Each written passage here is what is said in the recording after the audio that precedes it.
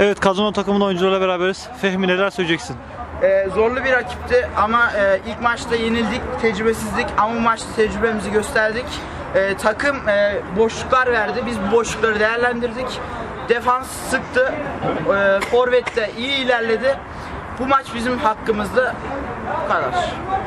Siz neler söyleyeceksiniz? Ben, Evet. ben bugün Kazanova ile ilk kez maça çıktım. Oynadığıma göre defansta biraz eksiklikler gördüm. Biraz takım olarak topa dokunmaya korkuyoruz. Onun dışında bence şanslı bir galibiyet aldık. Takım bize oranla daha iyi paslaştılar ve daha çok kaleye geldiler. Kazandık, güzel oldu. Çok şükür kaybetmedik. Peki İlk maçta tecrübesiz bir şekilde çıktık sahaya. Defansta çok büyük hatalar yaptık. İkinci maçta telafi ettik transferlerle. Zannedersem ilk maç arkadaşlar bize koyduk diye bir şey söylemişlerdi. Yanlış olmuş o. Şimdi gösterdik kendimizi biz koyduk onları. Peki başarılar dileriz iyi akşamlar. Teşekkürler.